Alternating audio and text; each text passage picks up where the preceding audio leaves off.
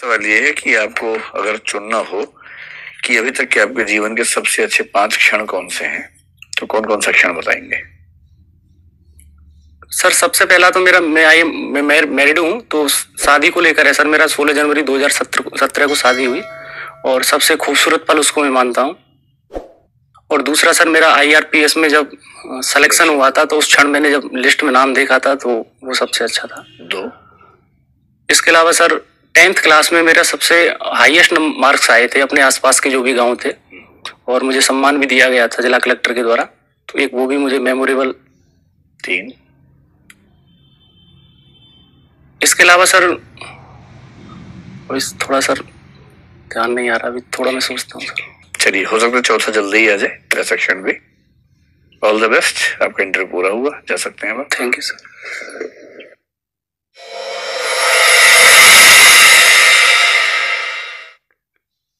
आओ भैया बैठो। थैंक यू सर क्या है आपकी अंडरस्टैंडिंग क्या है आज के इंटरव्यू की? सर वही नर्वसनेस है उस वो मतलब फेमिलियर नहीं हो पाता हूँ। क्यों है? तुम सिलेक्टेड आदमी हो तुम बढ़िया जॉब में हो। सर सब जगह बढ़िया रहा है और सबसे ज़्यादा दबाव आज के इंटरव्यू महसूस किया है मैंने पता नहीं क्यों सर इसका पर्पज सिर्फ़ ये होता है हम लोग इस पर जब बैठते हैं ना तो पहले हम डिसाइड करते हैं कि कौन क्या पूछेगा। और कोशिश करते हैं कि जो आपका बायोडाटा है ना उसमें कुछ छोड़े नहीं। जैसे डिजास्टर मैनेजमेंट में सर्टिफिकेट आपने लिख दिया और ये क्या साबित हुआ? डिजास्टर पढ़ाई तो आपने की नहीं बहुत ज़्यादा। जब आपने खुद लिखा है फॉर्म में, मान के चलिए कि जो पाँच लोग बैठेंगे यूपीएससी में, उनमें से कम से कम एक ऐसा होगा जो कभी ना कभी उसमें काम कर चुका होगा। और यदि उसने पूछ लिया जो सवाल पूछे बहुत बेसिक थे डिजास्टर मैनेजमेंट के, लेकिन वो वही बता पाएगा जिसने पढ़ा हुआ है ठीक से। तो ये बहुत मतलब स्वाभाविक बात है कि उस पर तैयारी आपकी अच्छी होनी चाहिए थी। ठीक है, मैं आपको बता दू, देखो। एंट्री बढ़िया है ड्रेस बहुत ही बढ़िया है सिटिंग का हेल्प बहुत अच्छा है, इसमें तो कोई बात ही नहीं है। हो क्या रहे कि आंसर्स में ना वो धार और वो सहजता कहीं कहीं मिसिंग है। कैसे? सेल्फ इंट्रोडक्शन आपसे पूछा गया तो आपने ना, बेहतर होता कि थोड़ा सिस्टमेटिक होता, क्योंकि ये प्रश्न तो स्वाभाविक है एक्सपेक्टेड है। ऐसा लगा कि एक वाक्य बोला फिर अपने सेकंड सोचा फिर बोल दिया तीसरा बोल दिया। वीडियो देखना तब समझ में आएगा। जी सर थोड़ा सिस्टम से कि सर मेरा नाम जैसा आप जानते भानु है। मैंने ये पढ़ाई की है। इस जॉब में मेरा सिलेक्शन हो गया है और मैं भी इम्प्रूवमेंट के लिए प्रयास कर रहा हूँ। मेरी हॉबी ये है। सिस्टम में एक फ्लो में बात आनी चाहिए। हिंदी लिटरेचर आपने क्यों लिया? पीसीएम छोड़ के तो ठीक था। हिंदी क्यों लिया? वो तो ठीक था। पर पीसीएम क्यों छोड़ा? मतलब मेरा ख्याल है कि इसमें थोड़ा सा और अगर बात स्पष्ट होती ना तसल्ली तो मिलनी चाहिए मेंबर्स को कि छोड़ने की पर्याप्त वजह थी आपके पास यूँ ही नहीं छोड़ दिया।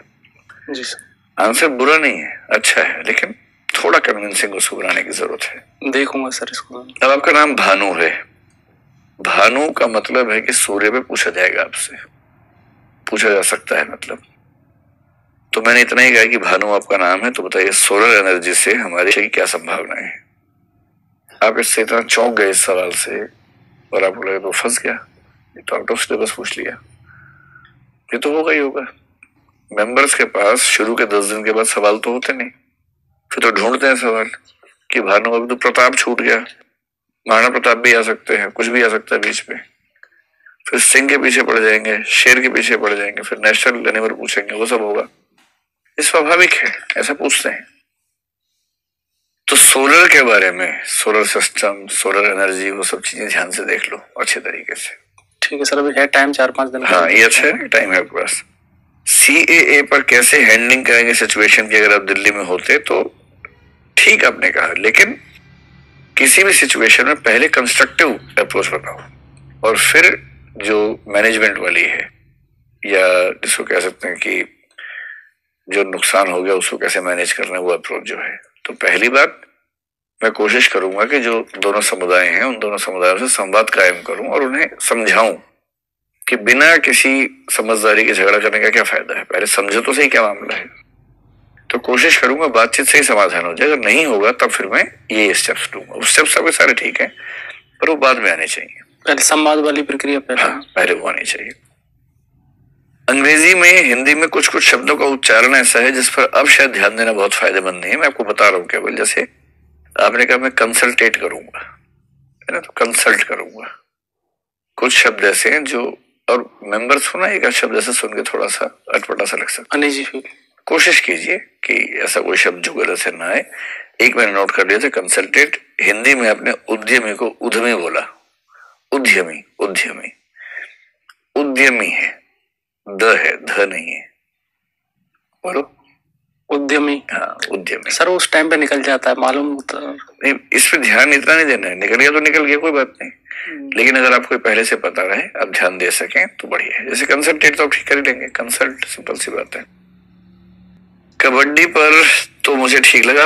वो आंसर ठीक था हाँ, लंग्स। वाला। हम्म। अच्छा मुझे लगा ऐसा तो नहीं कि अब लंग्स नंबर वन पे सुनना चाहिए। नहीं नहीं सर क्रम ठीक था हाँ, क्रम ठीक था। बहुत बढ़िया इसलिए कि स्टैंडर्ड जो पॉइंट इन्होंने बताया एग्जैक्टली वही हाँ, तीस सेकंड उसे लग गया कि जो है मैं खेलता भी हाँ। उसे लग। गया कि ये खेलते हैं। बहुत बढ़िया। और उसका सर ये, ये इसका अच्छा इसलिए बता पाए पर्सनल था। हाँ, मैं सबसे हाँ। बेनिफिट में ही रहता हूँ हाँ। इसलिए लंबाई की वजह से हाथ की वजह हाँ। से नॉर्मली जो है सांस इम्पोर्टेंट नहीं छू के जल्दी से घुसा उसमें हाँ। जितने नॉर्मली लोग लंग्स को पहले देते हैं। मुझे भी लगा की ऐसे शायद कोई अपेक्षा होगी आपकी। हाँ,